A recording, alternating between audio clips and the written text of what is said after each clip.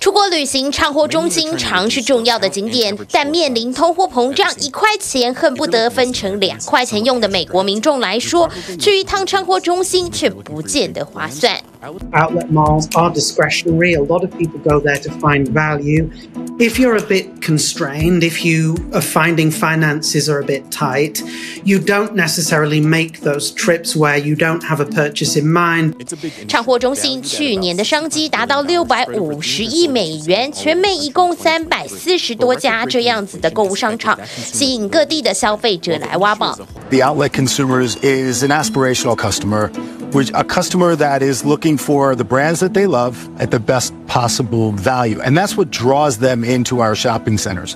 但跟以往相比，这些唱货中心的表现却差强人意，占比将近四成。美国唱货中心龙头今年第一季的业绩达到十三亿美元，跟二零一九年第一季相比，也只小幅成长了百分之二。线上购物来势汹汹，吸引新一代的消费者眼光，也让唱货中心的销售显得原地踏步。The rise of e-commerce, especially some of the discount e-commerce commerce platforms, all of those things provide some potential headwinds to outlet malls. And I think that they're things that outlet malls are really going to have to try and respond to over the next few years. 尤其各家 outlet 都能看到的 Gap 还有 Nike 现在干脆都自己推出畅货中心，让这场畅货中心的生存战更加艰困。I think it signifies a problem with the main brand. I think it tells you that they are struggling to sell at full price because the value proposition isn't right. Maybe the brand isn't attuned, maybe the products aren't quite right.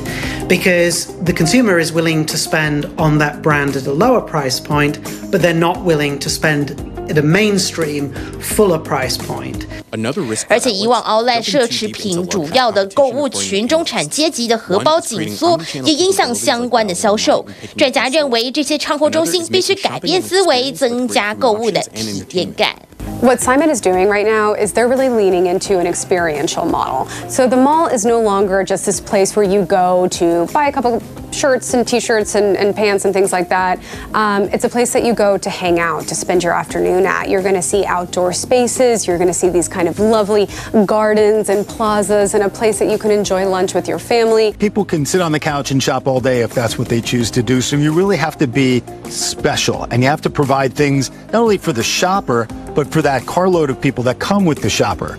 不少业者也开始提供线上订购、实体店面取货等服务，就是积极要吸引顾客走进畅货中心。The lines between online and stores are very blurred. You know, no one wants to sit only at home all day and exclusively order stuff off their couch, which, you know, the pandemic made very clear.